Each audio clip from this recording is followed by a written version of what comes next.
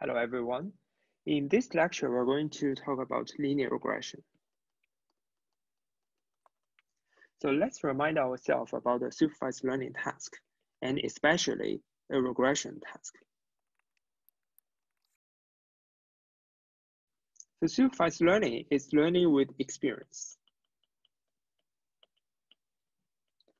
So my experience is a set of samples so I have a set of experience. I have m pieces of experience. For each piece of the experience, it's some input, xm, and some output, the target. It's known during training. So for a regression problem, I would say xm is a vector. Okay. So for the simple case, we only consider vector input. So it's a d-dimensional vector. So it's a vector. And for regression problem, uh, the target is a real number. So this is my experience. I have a lot of experience. Then I would apply some machine learning system. And you will get a function. You will get a hypothesis. So previously I used M, but it can also be said as H, which is the hypothesis that maps from the input to the output space. Okay, so this is my machine learning model or hypothesis.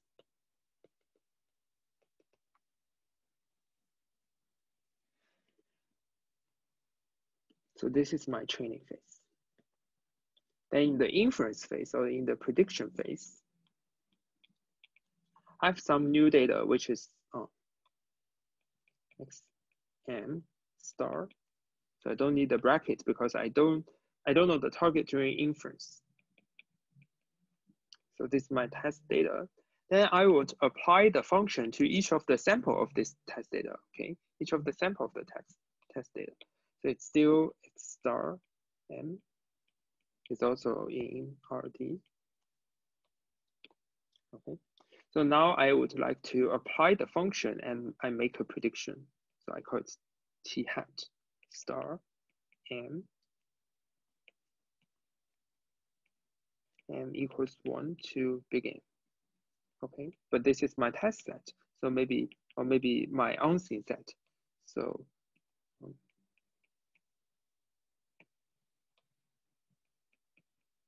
So the this number may be different from that number. Okay, so this is my prediction.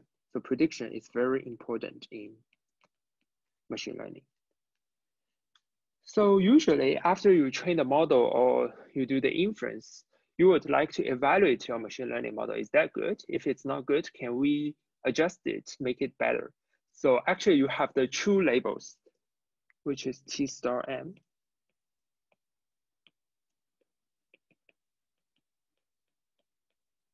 And this can be collected retrospectively. For example, in the stock market, you don't know the price for tomorrow, but after tomorrow, then you know it.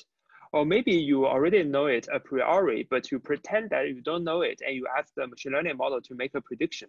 Then I take a look at my already known label and make a comparison. So based on this and this, it gives me some error, which is the measure of success of my machine learning model when we design the machine learning system, we have a few um, components. So first, the hypothesis class. Hypothesis class is usually a subset of the functions that maps your input space to your output space. And also your training criterion. The training criteria or the training objective or the loss or cost is the criteria how you would like to choose a particular hypothesis in your hypothesis class as your selected machine learning model. So this is a function of hypothesis class. So you feed in a hypothesis class. You also feed in a data set. Okay, so set of all kinds of training sets. So this is the input of your, then it gives you a real number so you can pick, okay? So now for linear regression, we would like to solve these two problems. What is the hypothesis class? And what is the selection criterion? So hypothesis class for linear regression. So this is the this is the regression problem in general. So now we're going to talk about a linear regression where, you know, by its name, it's linear. So let's say, assume, suppose a data sample is x, okay? It's bold x, which is x1, x2, up to xd is in my RD. Then a linear model, a linear regression model predicts the output by a linear transformation plus a bias term. as. So, you know, it's linear regression. Of course, we do some linear transformation. So the target prediction target t hat, sometimes I also call it y. The t hat is, so I can also denote it by y. Also denoted as y. So maybe in the future, I will use it as y. So t hat. So now, you know, uh, in the convention for this term, uh, I call T as the true target, okay? The true, the nature of the data. T hat is something predicted. And then Y is also the output of your model. So I call it Y or T hat interchangeably here. So T hat is, you know, it's a linear combination. So the linear transformation is W1, X1 by W2, X2 plus xd wd xd. Okay, so this is the linear transformation plus the bias term. So plus the bias term. Okay, so all you can do is to predict the target by a linear combination of your input features plus the bias term, where W1 up to WD are my weights. Okay, I call W as weights. B is the bias. And W1 up to WD plus B are parameters. Okay, so they're just terminologies. So W are weights, it's clear it's W, so it's weights. B is bias, and both of them are parameters. And there's not much difference here. They're just terminologies. Okay. So using linear algebra definitions, I can represent it in a more compact way, which is W. Okay. So which is W transpose X plus B. Okay. So I can make it bold W is a vector and X is also a vector. And I mentioned X is here. So X is here. But what, up, what about W? So you, you know, W is a vector W1, W2 up to WD, okay? It's also in R to the D.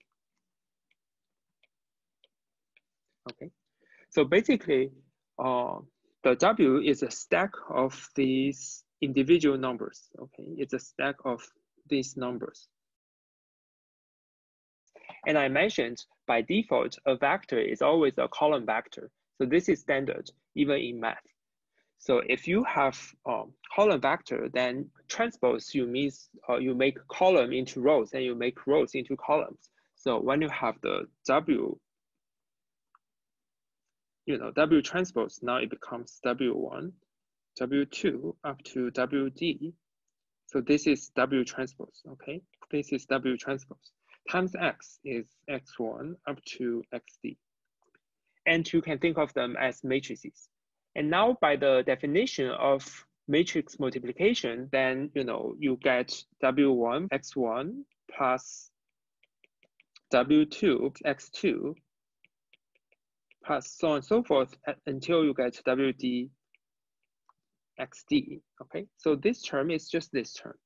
And then you have B term here and you just copy B term. This shows that such vector matrix representation is correct. And this is also known as the inner product. Right. People like to use angle bracket to represent inner product. So this is also represented like this. So W and X are vectors plus B. So this is just a notational issue, okay? They have the same meaning if they are real vectors, okay? So this is one of my hypotheses. If I have different W and different B's, then I have different hypotheses. And all the hypotheses you can have by changing W and B is my hypothesis class, okay? So the hypothesis class for linear regression is all the hypotheses you can have by changing the W and B. So the hypothesis class for linear regression is all the functions h of x, okay, is W transpose x plus B. So this W and this X are both, so they are both, such that W is in RD and B is in R in R, okay? So I can also parameterize H by W and B, okay? So this shows all the hypotheses that you can choose is no more than just a linear transformation of X plus B, okay? So example.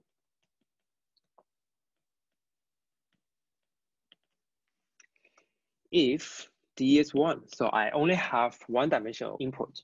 So the input X is, X is R and target is also in R. Okay. So in this case, so I can say Y is also in R. I mean, Y is the prediction of your target, or maybe called T hat. Okay.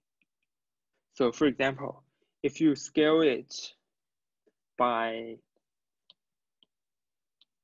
scale something by pound, okay, this is pound, so X is pound. And you want to predict the weight by kilograms, okay? So now you know one pound is, you know, 45. One pound is 0.45 kilograms. And maybe two pounds, you know, is 0.9 kilograms, okay? So this is the true knowledge that we have, okay? This is the true knowledge that we have. But in reality, you know, when you weigh something, there's some noise. So maybe you get a few data samples like this, okay?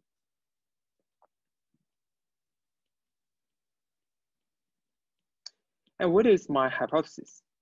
You know, the hypothesis is not the true line, I mean, the hypothesis is not the true line. The hypothesis may be um, you know, the hypothesis may be um, any function, any linear function. Okay, this is one of my linear function, or maybe this is another of my linear function, right? And I allow you to shift it by b, so it may not cross the origin. Okay, the hypothesis may not cross the origin, for example. Okay, so all of them follow the format of W transpose X plus B. Okay, in this case, it's W X plus B. So in this case, okay, this is Y, sorry. So in this case, Y is W times X plus B, okay?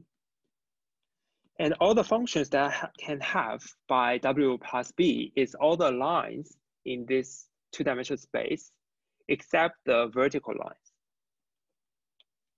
right? So vertical lines anywhere are impossible. So vertical lines are not possible. Okay. So this is my hypothesis class. So the hypothesis class for this case, for the one-dimensional case, is all the lines, is all the lines except vertical lines. So for a vertical line, if you have x, you have multiple y associated with that, okay? That's not even a function, so it's invalid. So a valid hypothesis is any line that is a function of x, okay? So given x, you have a particular y. It may be good, it may be wrong, but that is in your hypothesis class. And you have all kinds of lines there. How about two-dimensional space?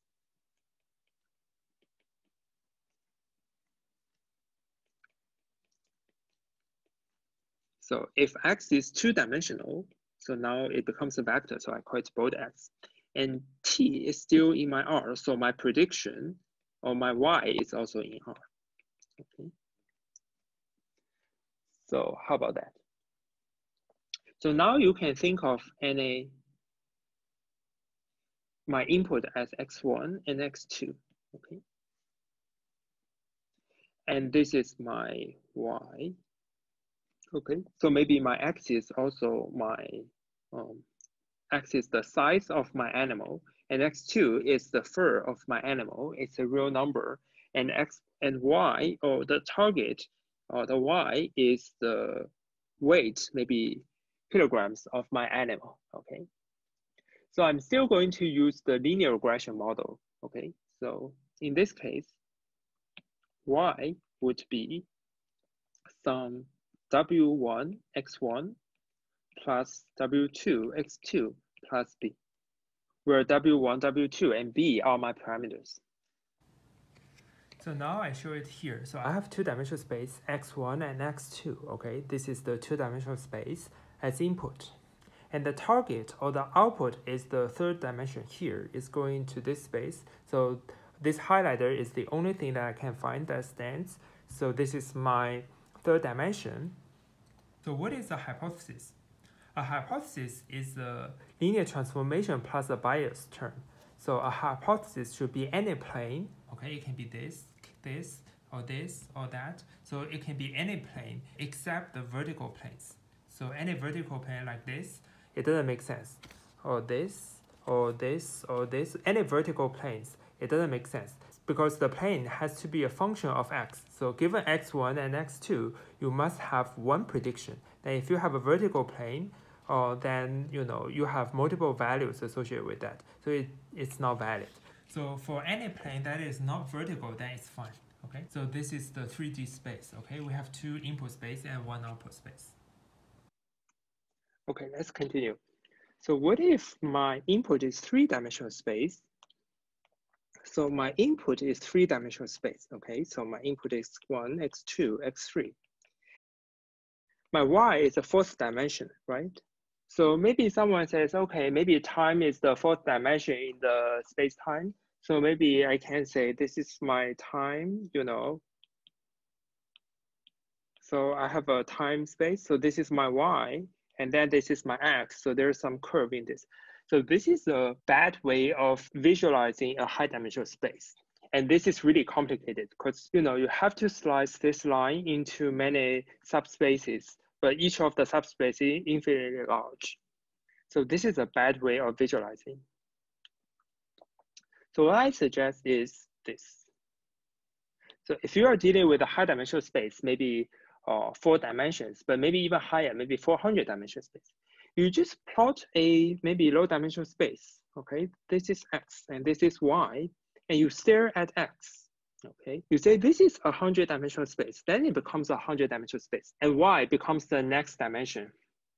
Okay, so now you still have a linear regression model, then you still have a line, then you know, in in this axis it contains a hundred dimensions.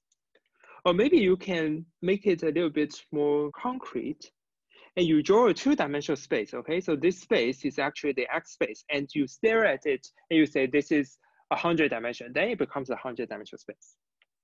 Okay, so you see why.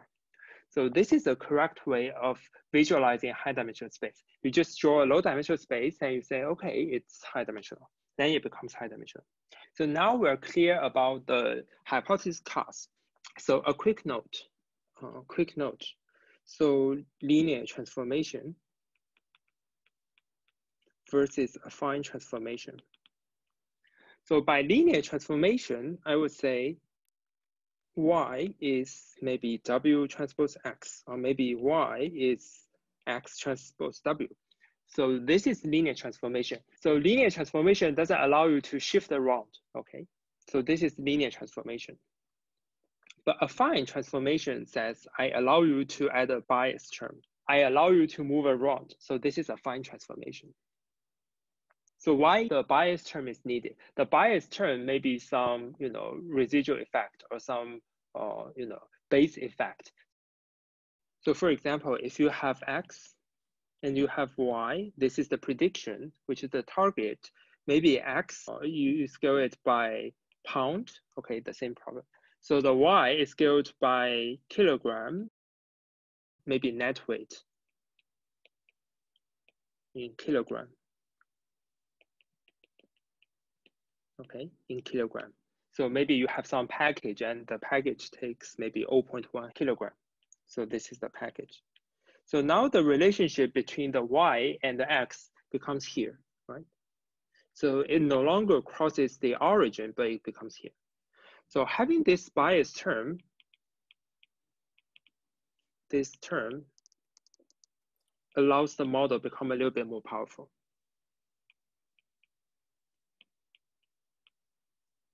to be a little bit more powerful.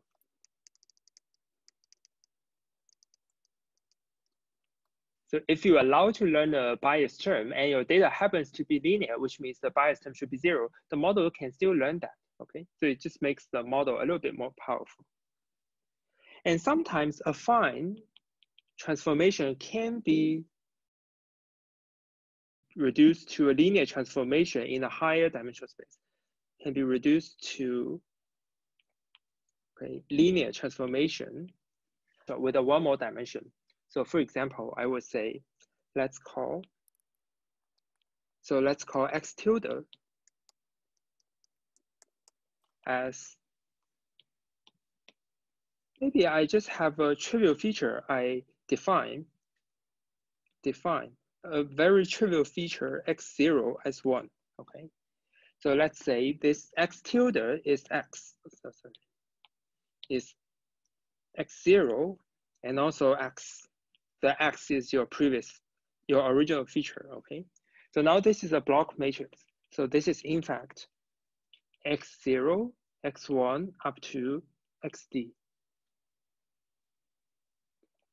Okay, so in this case, the vector becomes d plus one dimensional. Okay. So likewise, I can define W tilde as I put B here. B is a scalar. And then I put W as a vector here, which is B, W1 up to WD. It's also in R to the D plus one dimension. Now the pre prediction y is previous prediction is w transpose x plus b. Now I can represent it as w tilde transpose x tilde, right? I absorb b into w and I extend x by a trivial feature, which is zero, sorry, which is one. So in this case, they are the same. Now I can get rid of the translation of the bias term by um, extending it to a higher dimensional space, okay?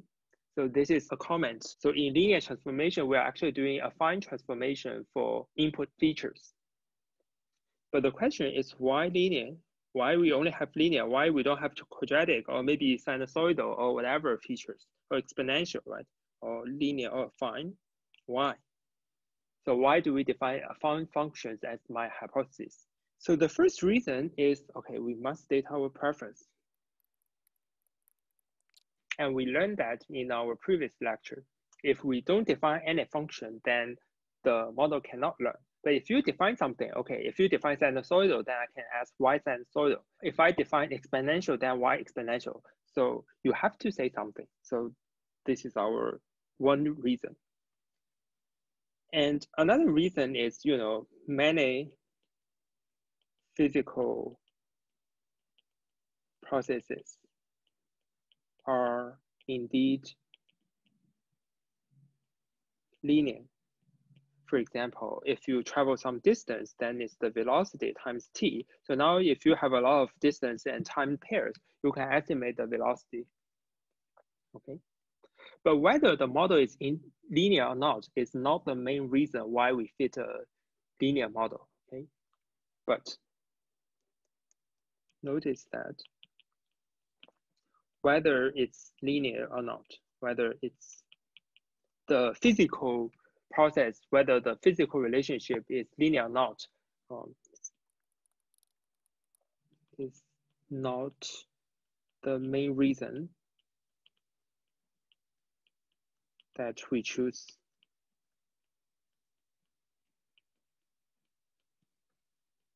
regression for the linear hypothesis class. So this is different from statistics. So statistics says, I know this is my physical process, and I know the parametric form of the physical process, and I want to estimate the parameters. But this is usually not the machine learning case or not the artificial intelligence in general. Usually, artificial intelligence are solving very difficult problems where you cannot model the true relationship between different variables. It's really complicated. And as I mentioned, you know, if you have the one and you map it to one, it's really complicated. You cannot design a, uh, you know, analytic form and say, this is my true relationship. What you need to do is just to estimate the parameters, okay? But we still prefer linear models or some simple models for many reasons,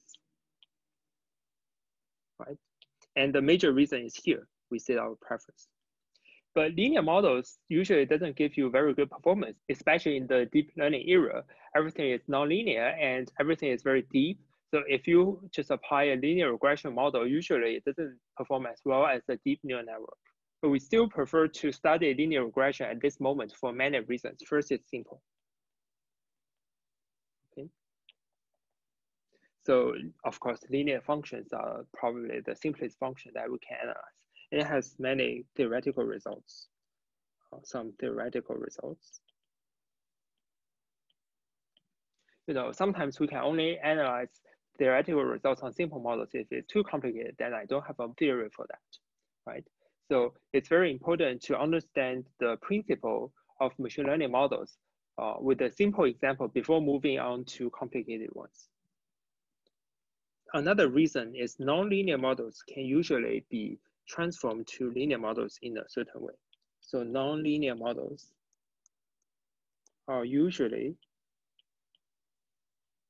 can usually be transformed to linear models in a certain way. Okay.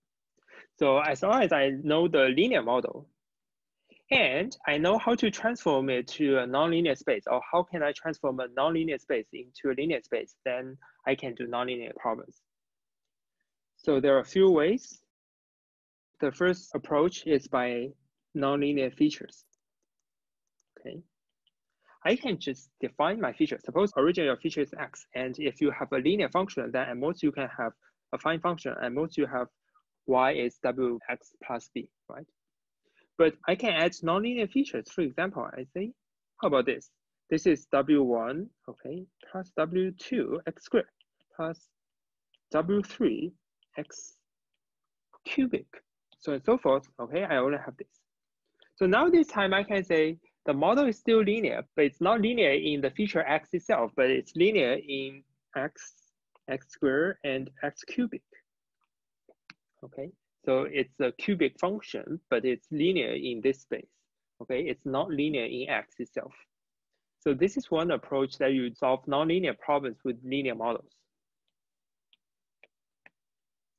The other model is nonlinear kernels. Okay, and the main idea is So we will cover nonlinear kernels in this course, but uh, maybe at the end of this course. But nonlinear kernels is about the high level idea is saying I can define some inner product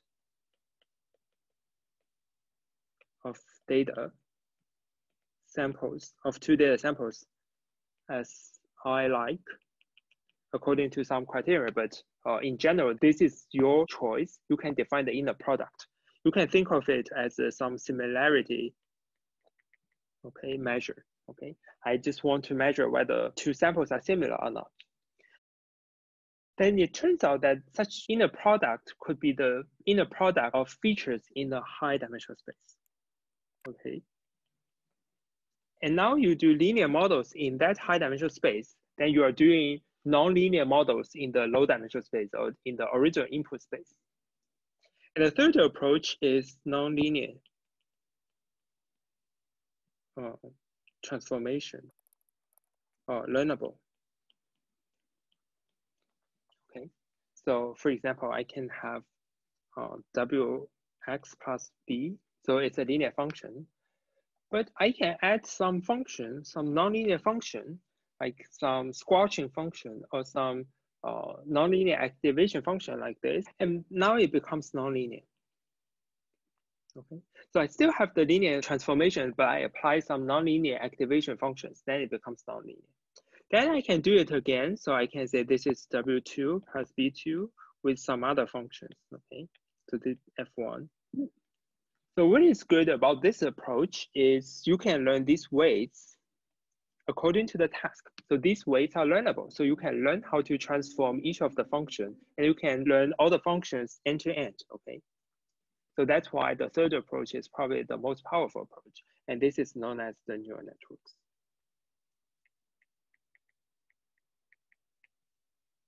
Okay. And after you have this, and if you want to make a prediction, you still have linear models, okay? You just have one more layer.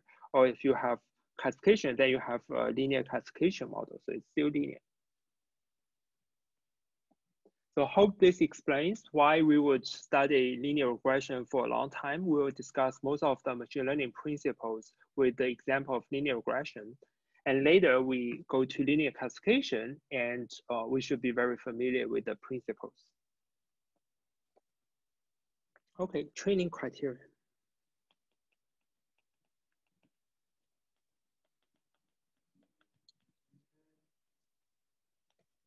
So the general intuition of our training is to fit my training data as best as possible, okay? So to fit,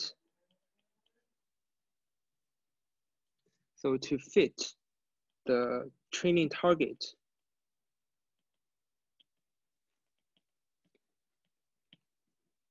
as much as possible. But only, but you can only work with the linear model or and affine model. So by the way, this is known as extended feature or augmented feature.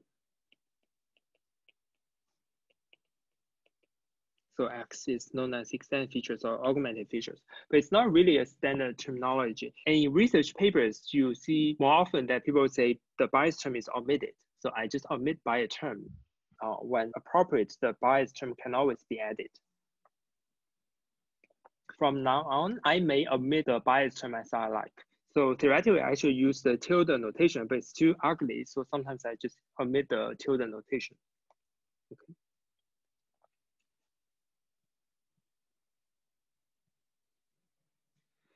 So this shows that for a data sample I, for data sample, maybe I would say the data sample xm and tm. Okay, notice that x is a vector, t is a scalar, which is my target. So my prediction with a linear regression model, h, whose parameter is w and b, my prediction y, so I can also call it t hat, but now I decide to call it y, is so y is h who is parameterized by w and b of xm, right? This is my data samples prediction. So by my linear model, by my affine transformation, then it's the same as saying W transpose X M plus B, right? So now uh, my general goal is to fit the training target as much as possible. So it's intuitive. It's intuitive to penalize how ym is different from tn, okay? So now I can define my j so this is my training objective, or this is my training loss or cost, okay? But I'm just defining the loss for one data sample. So now I'm saying this is the loss from ym minus tm, okay? They are both scalars, right? So I can take the absolute value. So it's non-negative. Okay. So this is one of the loss that I can choose. But it turns out that it's more standard to have a square loss. Okay, so I penalize the square of the difference. Okay, so this is known as the square loss or square error. But I would like to use loss for training. Okay, and for aesthetic purpose, I can have one half here. Okay, so this one half has no effect in the optimization because you are optimizing a quantity then if you multiply it by a constant, then it doesn't affect which is the optimum, right? It has no effect when you do the optimization. And the main purpose is when you take the derivative, this two cancels out this half and it makes things look a little bit better, but it really has no effect. So if you don't have that half, it's just fine. I just include it for aesthetic purpose. Okay, so square error loss is uh, more typical than uh, absolute difference. So with my training set, x m t m, where m is 1 up to m. So notice that m is, x is still a vector. So the total loss, or the overall loss, okay. Okay, I call it overall loss is. Okay, so for each data sample, I have a loss. Then the total loss is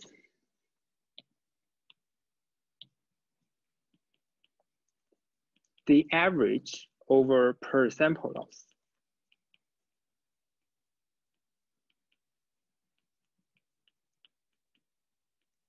So I'm just summing over all the data samples. So what is your difference from your target? And I just sum them together and then it gives me the total loss or it gives me the overall loss.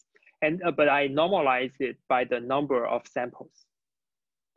Okay. So pictorially, so let's say, suppose this is my regression model.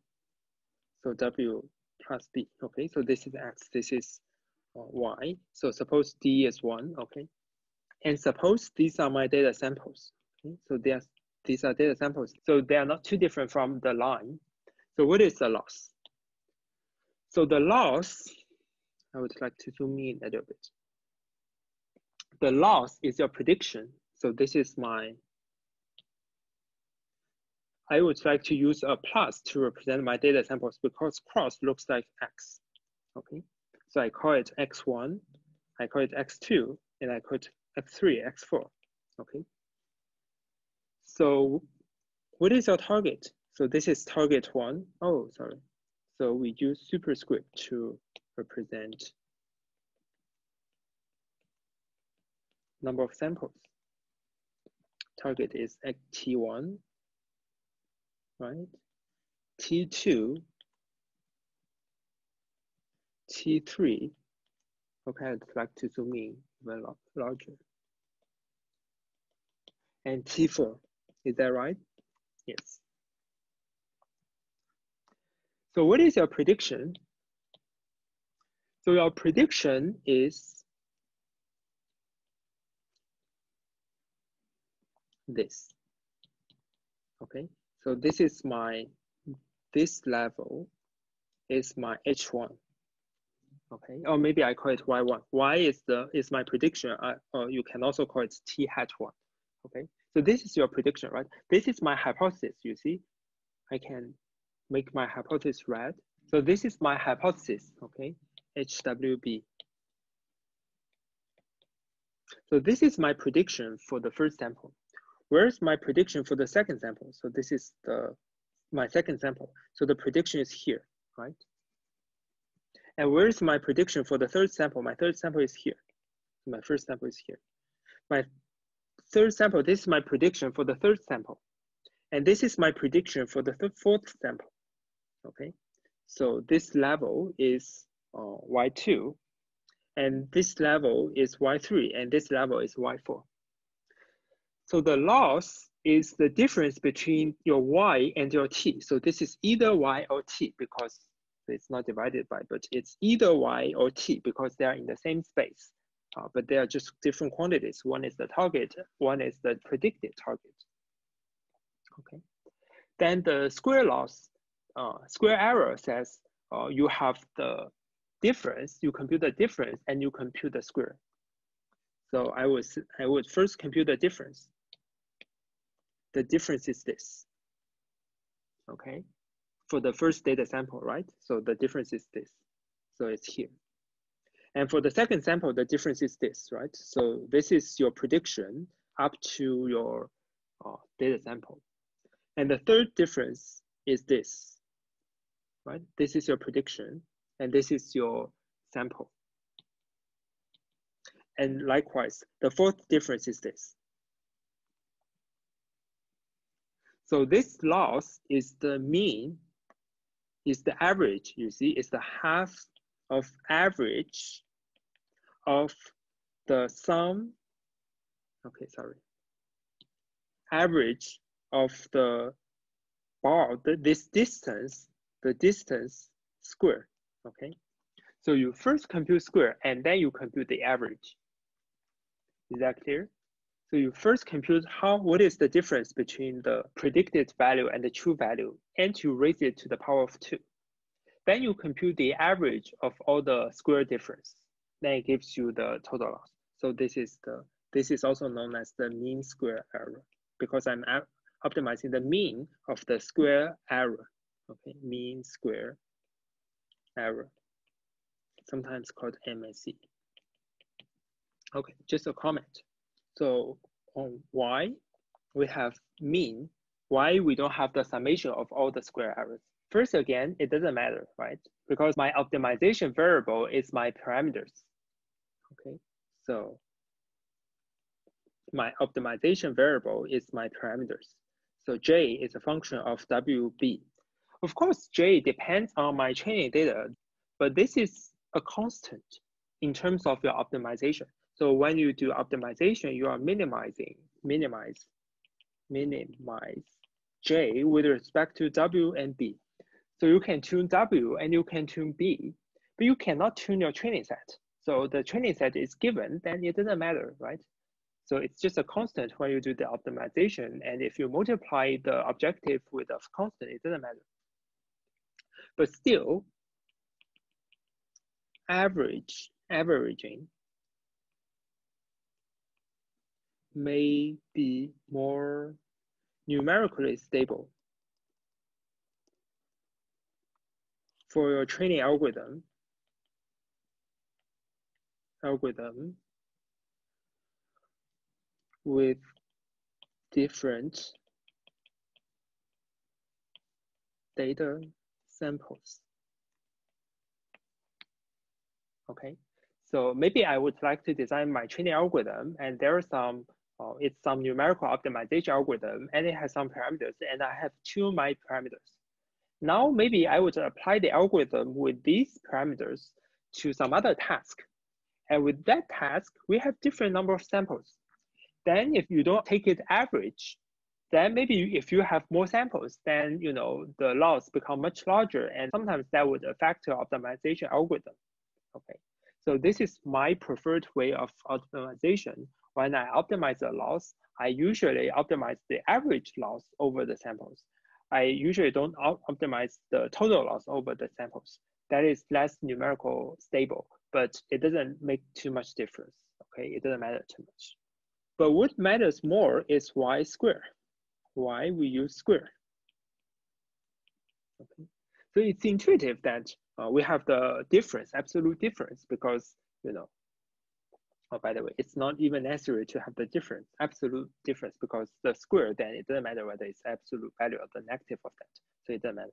So why do we need the square? Okay, so a few reasons. First, it has very nice uh, theoretical justifications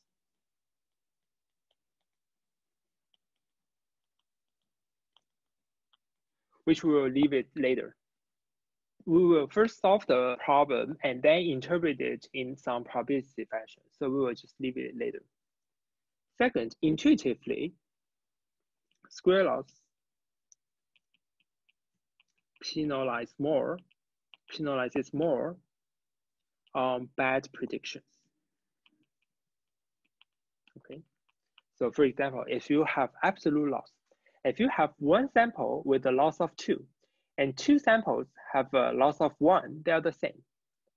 But square law says, okay, I would focus more on bad predictions. If you have one loss of two, then the square loss is four. If you have two losses of one, then the total loss is just one, right? So square loss penalizes more on bad predictions. So this is just the intuition for square laws, but the first point shows it has some theoretical justifications and we'll cover the probability interpretation later in the course. And also uh, it empirically works well.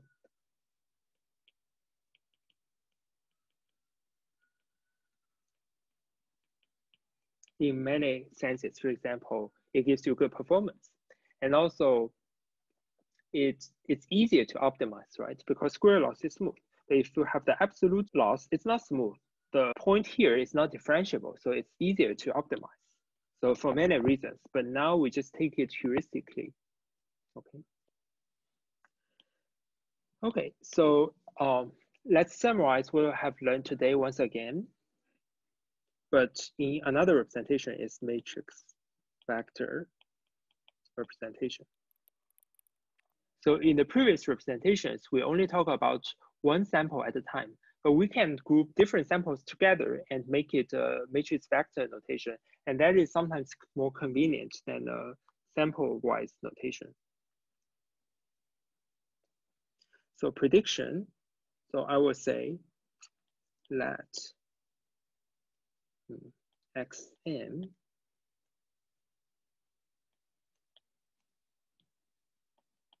tn okay, still be my training set, be my training set. Okay.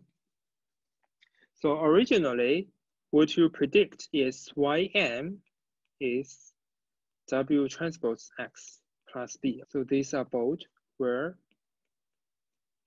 w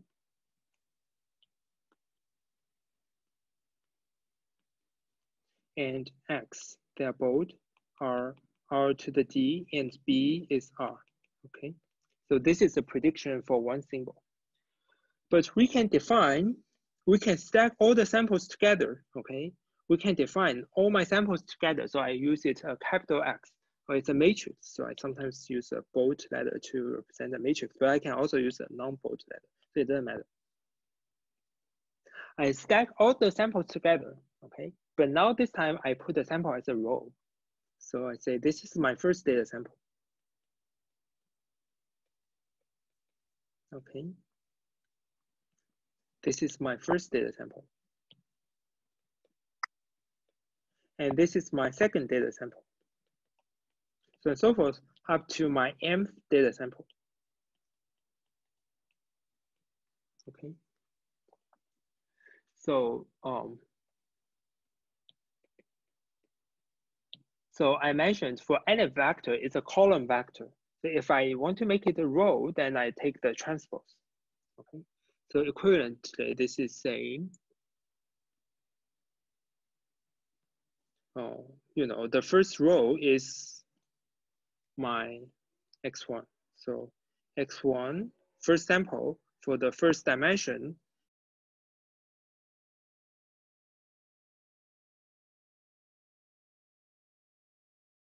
and x1, 2, the second, second dimension up to x1 m to the x1 d to the d dimension. Okay. I can represent it as a extended feature.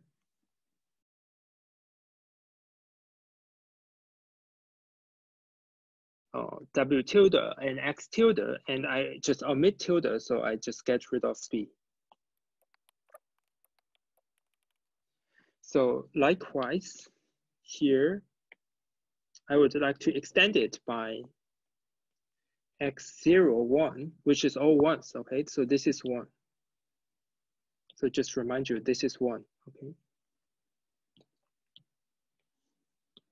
And this is my second sample up to my mth sample. So this gives me a matrix. And what is the dimension of that matrix? So the dimension of a matrix, you know, is something by something. So the first number is the number of rows. You count in the column dimension and it gives you the number of rows. And the second number is you count in the count the columns in the row direction. So you enumerate in this direction and then you count the number of columns. So this gives me n times d plus one. Okay. So with this definition in mind, so this known as the uh, design matrix. With this definition in mind, I can say y, now it becomes a vector. So I can directly compute the output for a bunch of samples, which is x times w. Okay. Is that correct? Yes. So one way to verify your vector representation is correct or not is to think of its dimensions. So the y, I'm, I'm trying to compute the output of different samples at a time. So how many samples do I have for y? I have m samples. So y should be a vector of m, right? Dimension of m, m dimensional vector. So a vector is a column vector. So you can think of it as a m by one matrix. So what is the dimension of x? x I mentioned is m times d plus 1. Then what is the dimension of w? So I mentioned w is a vector, and whenever we have a vector, it's a column vector. So when a column vector, then it's d plus 1 times 1. So when you do matrix multiplication, you know, this stuff cancels. So eventually you get m plus 1, n times 1. Okay. So this shows your dimension matches. And it's always suggested that in your implementation suggestion, in your coding, always comment on your variable dimensions. Okay, if you have very intensive matrix vector multiplications, then always make a comment on what is your vector dimension and that helps you debugging a lot. But this is not a proof of your matrix representation. If you show the dimension is correct, it's only a necessary condition, but it's not sufficient. To actually prove that, you need to prove it by the definition of matrix multiplication. So, you know, you need to multiply it by W0, which is B. Okay, so W0, I define it as B, W1 up to WD. Then the definition of matrix multiplication is you take row in the first matrix and you take column, the second matrix, and you multiply them element by element. That's why this number must match that number to make the matrix multiplication valid. And you just take the multiplication element by element, and then you sum them together and give you the result. But this is precisely the definition of y here, whereas here, okay? So this is the precisely the definition of y here. So it's valid. So it's correct. So you have multiple rows in the first matrix. And then when you do it, you get y1 y2 up to yn, and you still make it a vector, then it's correct. So this is the y, it's a vector, which is m-dimensional vector. Okay, so this is the matrix representation.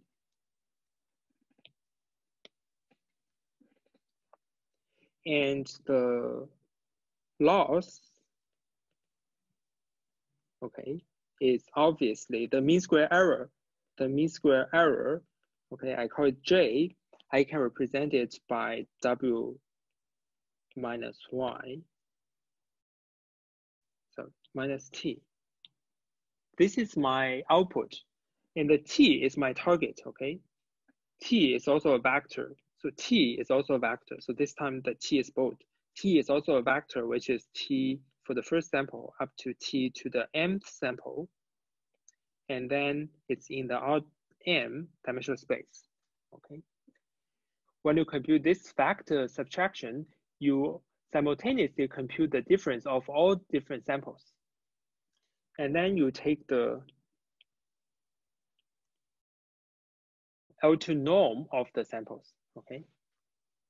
So L2 norm square. So for d-dimensional vector, the L2 norm is in fact V1 square plus V2 square up to VD square, and you take the square root. But this square root cancels with this square, so you have the, you know, the square of everything, right? And I can take the average as you like. And more generally, for LP norm, for LP norm, it's defined as V1, so this is a vector, P plus V2P plus up to the dp and to take the p root, so it's to the power of 1 over p. Okay. Okay, so this is good to know, but we will not use it at this moment. For future lecture plans, we're going to understand the mean square error loss a little bit more. Basically, we will show it it's convex. Okay, convex it just means curving up. And then we will show nice properties of the convex functions. Um, if you have something convex, then it's very good. Property, it's nice function, so you have a lot of properties for that. And then it's usually easier to optimize. And we'll talk about some optimization. And how can I find W and B to optimize this function? Okay, see you in next video.